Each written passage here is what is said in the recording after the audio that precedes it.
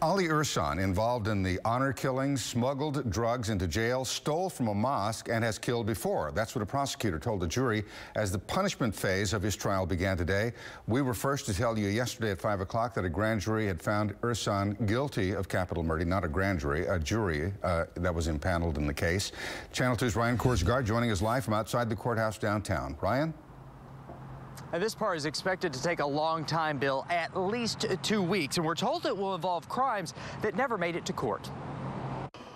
One day after convicting Ali Irsan of capital murder, prosecutor John Stevenson told jurors that Irsan has killed before and bragged about it. In opening statements for the penalty phase, prosecutors said Irsan also killed another man that one of his daughters had married, who was also not Muslim. On Thursday, the jury found him guilty of killing Gelareh Bagherzadeh and his daughter's husband, Coty Beavers, Michael Beavers' brother. Well, that's going to be up to the jury, but we're hoping that this that he will face justice. Prosecutors said that Irsan defrauded the federal government, defrauded his own mosque, and is an ongoing threat. This ends the fifth week of the trial. The penalty phase is expected to continue for at least two weeks with witnesses from around the world.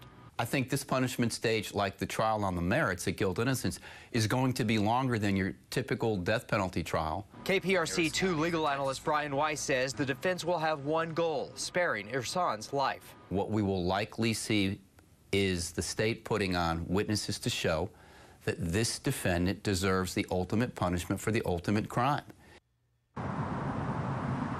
Hey, court is wrapped up for the day. Everybody will be back here again Monday morning. We're live downtown. Ryan Korsgaard, KPRC, Channel 2 News.